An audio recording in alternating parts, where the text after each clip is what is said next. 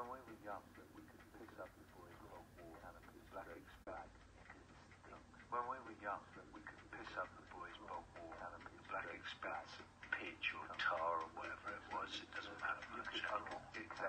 Tussles with the girls before the advent of pubescent or confused knickers, thick and pasty. In the wall of adolescence, dawn. Cannabis stretch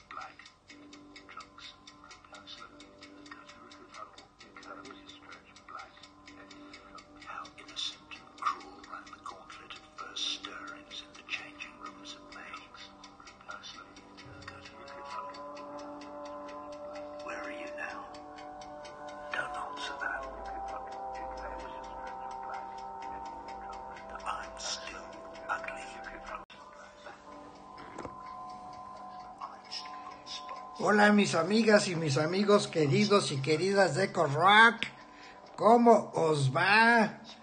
Espero que muy bien, oigan, aquí estamos bien contentos. Ya arrancamos nuestras ediciones correspondientes al 2019, hoy en Jalapa, Veracruz, en México, por si alguien me escucha más allá de nuestras fronteras en un día muy frío que amaneció con 6 grados. El solecito está ya afuera, pero créanme que se siente muy, muy, muy, muy, este, muy intenso este invierno jalapeño. Bueno, pues vamos a platicar de lo que es la edición del tercer sábado de enero en Eco Rock de este 2019 Recuerden, nuestras ediciones son el primero y el tercer sábado de cada mes, excepto cuando tenemos vacaciones. Así es de que, como siempre lo hago, bueno, pues vamos a enseñarles el sitio de Echo Rock, que además hoy nos estamos desayunando con la agradable noticia de que ya llegamos a, no, a 900 seguidores en el sitio. Afortunadamente, en todos los demás sitios que aparecemos, pues hay un buen número de afluentes, ¿verdad? De gente que nos sigue, que nos comenta, que comparte nuestras publicaciones, lo cual nos llena de orgullo. Bueno, vamos a mostrarles el sitio. Ahí está Ecos Rock. Ahí está la foto de... A ver qué pasó aquí.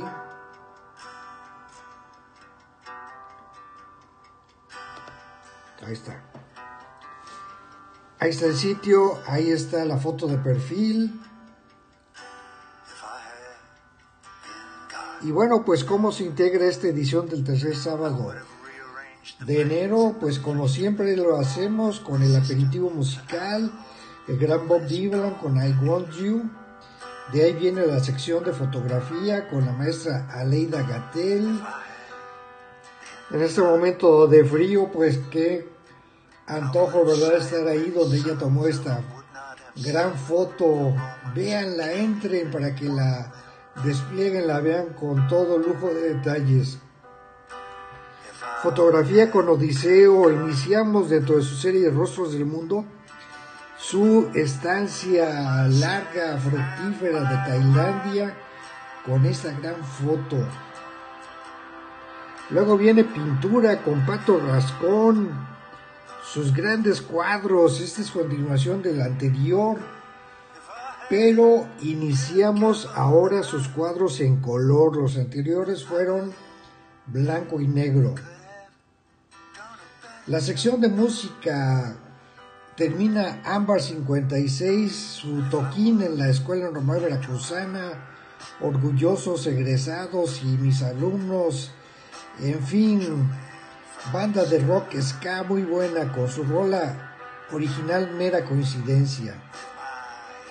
De ahí que sigue, bueno, pues la rapera María Advertencia Lírica con esta rola composición en, de rap basada en la música de Consuelito Velázquez, Bésame mucho, vale la pena que la oigan.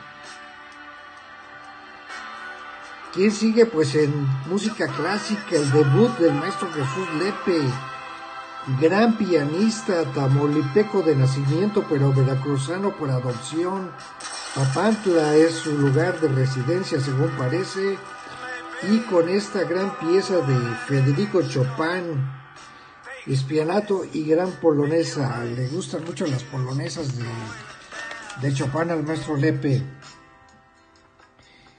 Bien, ¿quién cierra la participación musical? Pues nada más y nada menos que la diva, la gran diva de Eco Rock, Argentina Durán, con este concierto para dos pianos Escúchenlo, vale la pena. ¿Quién sigue? Poesía con y Curías, cuasi poema crisálida.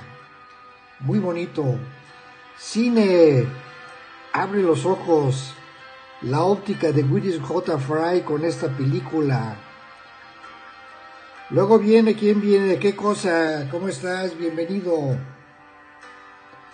La columna de Daniel Suárez que platicaremos con usted la semana que entra dedicada a Gustavo Cerati. Y cierra, bueno, pues mi columna Cirrus Minor. Ustedes están oyendo de fondo musical. Y vamos a cambiar a Roger Waters, ¿verdad? Y. ¿Cómo se llama mi columna? Bueno, se llama Cirrus Minor. Ustedes la ven aquí en el impreso. Ahí está Cirrus Minor. Os plus Dem, José y Eduardo Os plus Dem, Roger and Company. Bueno, pues ya les di eh, la cálida bienvenida a ustedes, ¿verdad? Y quisiera platicar con ustedes algunos aspectos de esta, esta columna. Hola Rivia, bienvenida. Eh, porque pues de hecho es, y ustedes están oyendo de música de fondo, eh, que yo tenía en el tintero, pero primero les quiero enseñar esto. Yo tenía en el tintero hablar con ustedes de este que es el más reciente álbum de Roger Waters, Ahí está. Is this the life we really want?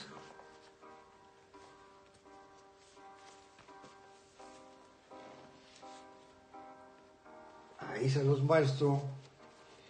Y pues fíjense que ya les he comentado que mi querido hijo está eh, radicando en Beijing y él pues me trae música de por allá, ¿verdad? Aunque sea de nuestros músicos favoritos.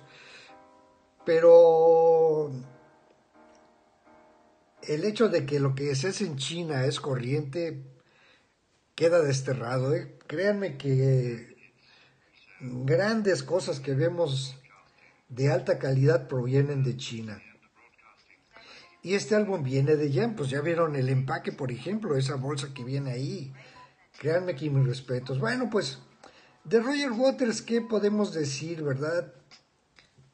Fundador de Pink Floyd, un gran músico, un gran activista, un gran defensor de derechos humanos, del que se ha escrito mucho, ¿verdad? Así es de que solamente vamos a dar algunos eh, puntos de vista, porque también tanto un servidor como mi querido amigo Daniel Suárez, los columnistas de Ecos Rock, en cuanto a rock se refiere y música, ya hemos plasmado nuestro punto de vista acerca de este talentoso músico. Así es de que vamos a charlar algunos aspectos que me he encontrado de él, buscando, ¿verdad?, otra información del gran Roger. Bueno, pues como bien sabemos, él nació el 6 de septiembre de 1943 en plena guerra mundial, en la Segunda Guerra Mundial, y nació en la ciudad inglesa de Bookman en Surrey, en Inglaterra. Su padre se llamaba Eric Fletcher Waters y él murió precisamente en la guerra, en la batalla de Anzio en Italia, el 18 de febrero de 1944. Según parece, el cuerpo de Eric Fletcher Waters nunca fue hallado. Y cuando muere eh, el papá de Roger Waters, pues Roger Waters eh, acababa de nacer, apenas tenía cinco meses de edad, por lo que prácticamente eh, pues no conoció a, su padre, ¿verdad?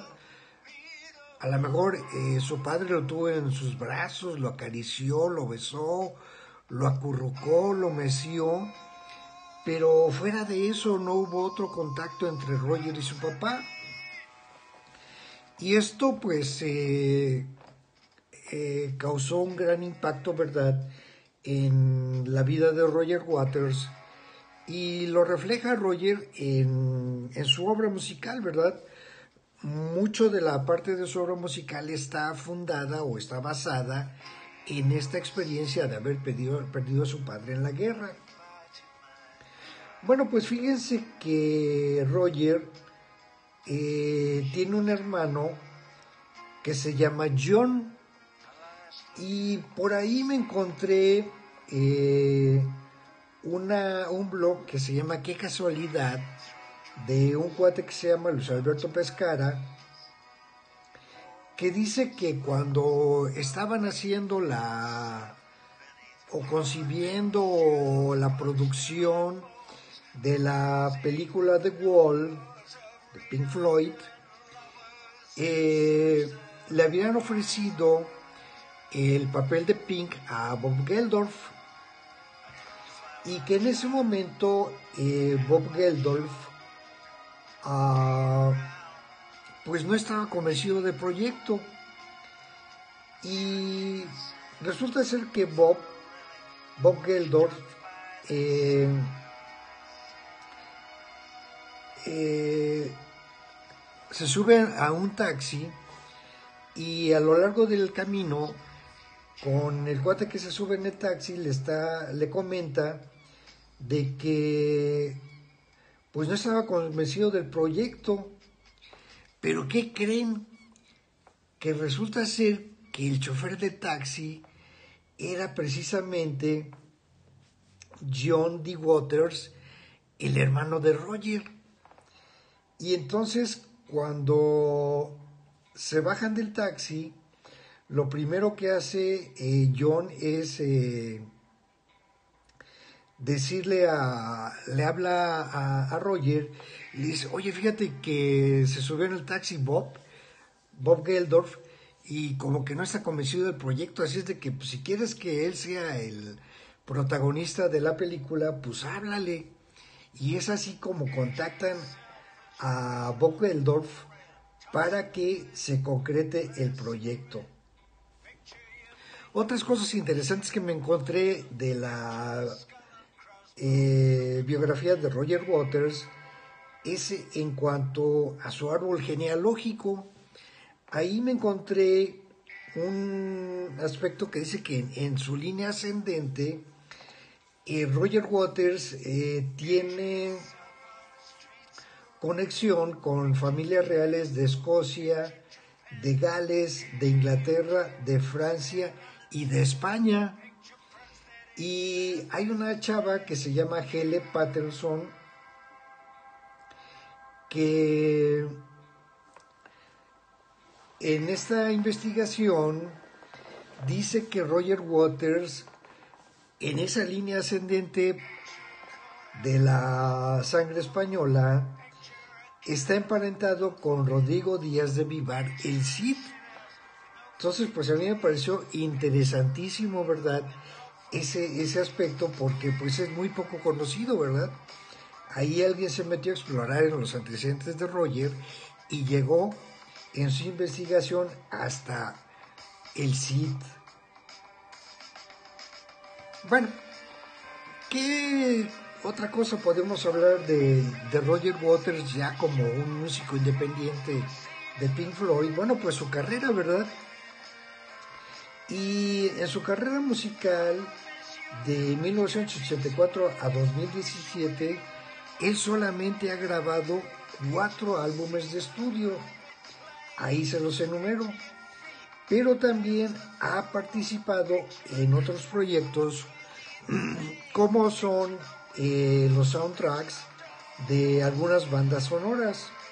de entre las cuales destaco eh, Music from the Body, que es de 1970, una película que yo vi en México, eh, pues en la zona rosa, en una sala del cineasta Gustavo La Triste, que ahora ya no existe. Entonces imagínense, hace cuánto tiempo la vi. Otra película en la que él es el soundtrack es When the Wind Blows, eh, del 86. En 1997, The Daybook of the Holy Apple Field. En el 99, The Legend of 1900. Y en el 2007, The Last Minty.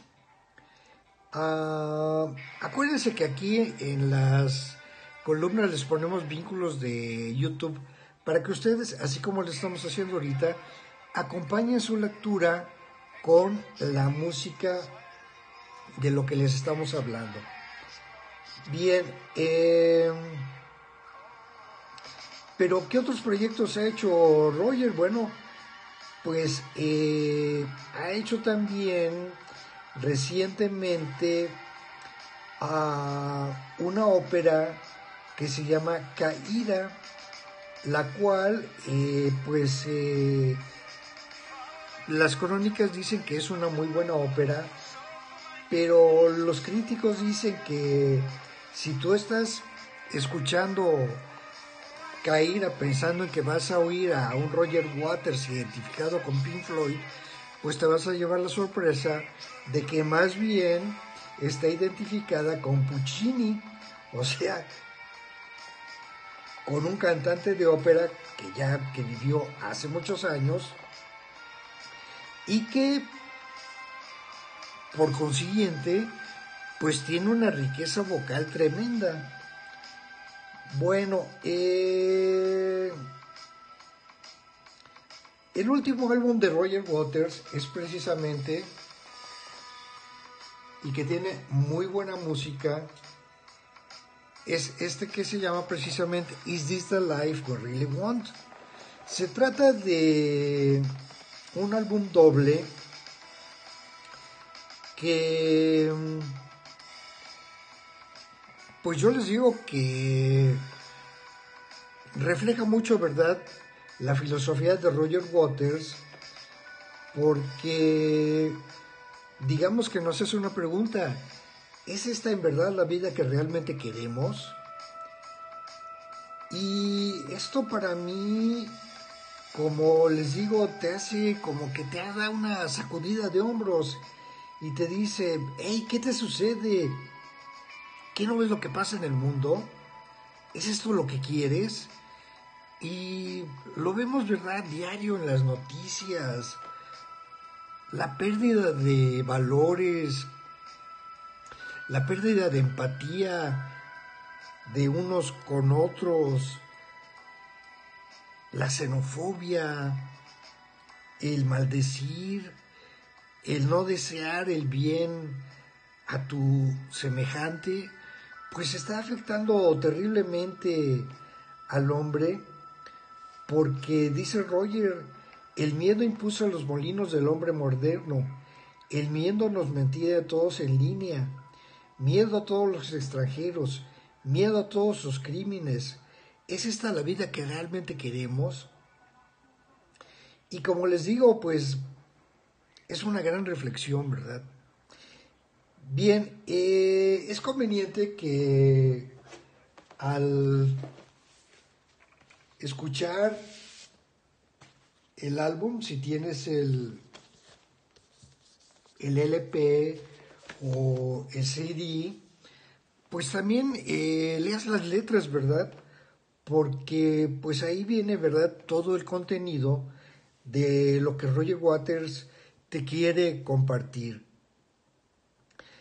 Bueno, ya para ir cerrando esta, esta, este, esta transmisión, eh, pues fíjense que con motivo de este álbum, eh, Roger Waters lanza su gira internacional Os Dem. Y para nuestra fortuna eh, pues México es un país al que Roger Waters quiere mucho y México es un país que quiere mucho a Roger Waters. Y entonces, pues eh, Roger estuvo aquí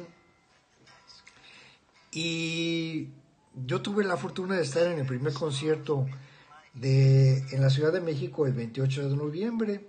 Yo estaba recién operado y fui, pero además fui con mi hijo después de un buen número de años, como lo decía, debido a que él se fue allá a China, de que no íbamos juntos a un concierto. Entonces para mí fue un gran acontecimiento que me hace escribir esta columna que yo, insisto, los invito a que entren al sitio y la lean con toda la calma del mundo, ¿verdad? Para que me entiendan.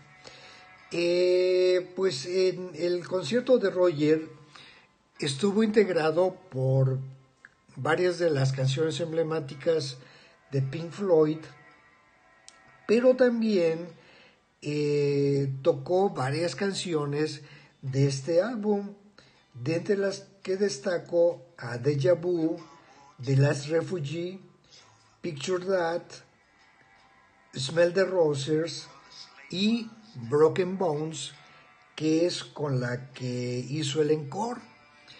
Eh, yo aquí les comparto los videos de estas rolas que yo grabé y que la verdad de las cosas pues fue un gran espectáculo porque también ahí, insisto, se plasma, ¿verdad? El activismo social, la labor social de Roger Waters y en sus mensajes de resistencia, ¿verdad? De resistencia hacia lo malo que está ocurriendo en el mundo, como yo les comentaba hace un momento. De resistencia a lo que nos está atacando, de resistencia al neofascismo, de resistencia al asesinato de niños, ¿verdad?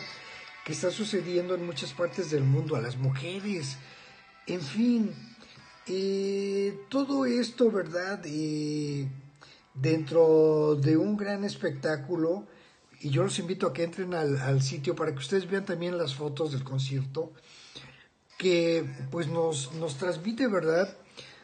Toda una serie de situaciones en las que nosotros no debemos de ser ajenos, ¿verdad?